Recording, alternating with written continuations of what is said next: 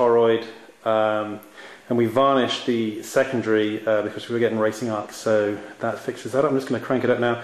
It's been behaving uh, really well actually, it kind of scares me to death but I'll just crank it up and we'll see what happens.